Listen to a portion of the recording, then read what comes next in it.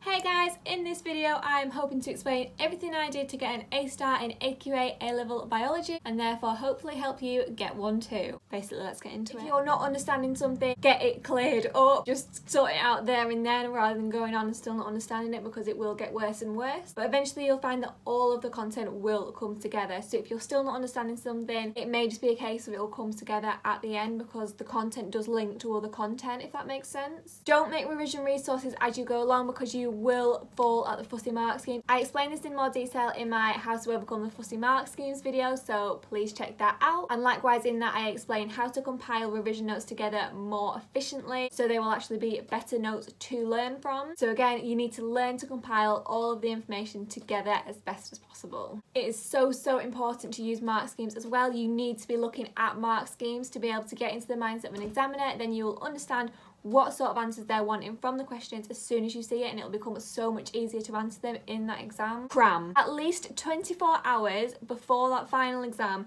you must cover all of that content again. You can't have your biology exam on the Wednesday and finish going through some content on Saturday and then not look at it again until after the exam. You need to look at it all again in the final 24 hours. So even if that means you're not going to get a full 8 hours sleep the night before, stay awake, cram for it, make sure you get that content covered. Revision methods, flashcards, online and physical. So online ones could be like Quizlet and Chegg as well. And then you've also got post-it notes, mind maps, blurting, songs, past papers, baseline mock, anagrams, repetition and recall. And I've probably still missed a few out there. Write notes on practicals too. Don't just go through these two years and do your practical elements and be like, right, okay, yeah, I've passed that experiment, move on to my next thing because it will be asked about in the exam. Isn't it about like 10, 15% has to be practical questions? If you come to the end of year 13 and you start revising and you're like, oh yeah, um, I haven't got anything to revise about that now, then that will be a bit stressful for you. So I've just been editing back this video and realised that I forgot to say you don't actually have to pass the practical element. So if that's a deciding factor as to whether you take the A-level or not, I think it's really important that you do know you do not have to pass it. If you fail your experiments, totally fine by the way, you could still get full marks in A star in A-level biology and just get a fail in the experiment. It's a totally separate thing. Baseline mocks are not only important for biology but for all subjects, but honestly it should, you really need to to do it for biology to be able to overcome those fussy mark schemes. When I'm saying a baseline mark, I'm meaning don't revise for it. Like say from March until the exams, every Sunday do a baseline mock. You will find that your baseline knowledge will get better and better and better. So even in the worst case scenario, when you come to that real exam, if you haven't revised, you still will be able to smash it. I actually really would advise looking at the old spec papers as well because they are separated out really well into individual sort of topics. Everything to do with the environment is all sort of on one paper. So if you know you're struggling on a certain topic, then you can easily find that on one paper, lots of past paper questions all together. And the more experience you have with the questions, the better your answers are going to be. In terms of answering the questions, look for keywords. Just read the question, keyword there, there's a keyword there, there's a keyword there. Just write absolutely everything you know down about that keyword to be able to defeat the fussy mark schemes because you're not going to lose marks at the end of the day. So if you've got the time, do it. And in terms of getting the time, get extra time. If you are entitled to extra time, and let me tell you, the majority of people are, just get the extra time that you are entitled to. Stay motivated to get your work done. Listen to classical music and set yourself small targets like, oh, I'm going to finish reading this section of my revision before I text my friend back or before I have something to eat. Do you know what I mean? Just set yourself little targets and you will find that you get things done a lot quicker. You must work hard all throughout the year. You can't get to like May and decide now I'm going to start working. You have to work throughout the year. So you need to be getting your notes right from the start and therefore you won't be wasting time and you will be able to optimize your time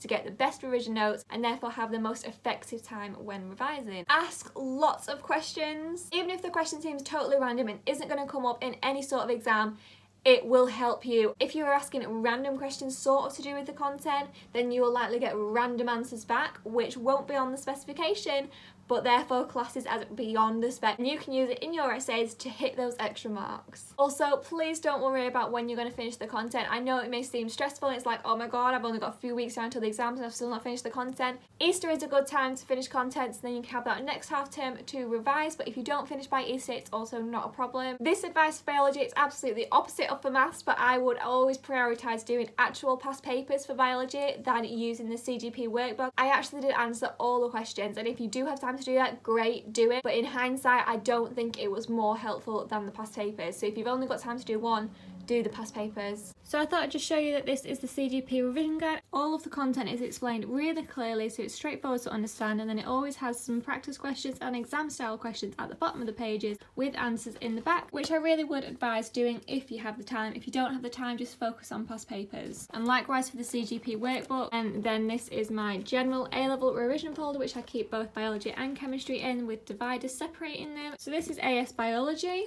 I do keep them separate as AS and A2 because it's basically just paper 1 and paper 2. So there were 6 experiments in AS so I just put the 6 all together so I can see how they're different, what's different, how it's explained, what the results were and everything like that so I can answer the exam experiment questions. It doesn't have to look pretty as long as it's effective, that's all that matters. People always ask me if I can read these mind maps. Yes, I can read them, but I don't make these to read them back. I just make them so I'm writing all of the content out at once, which makes it stick in my head a bit more because I'm using muscle memory from writing it.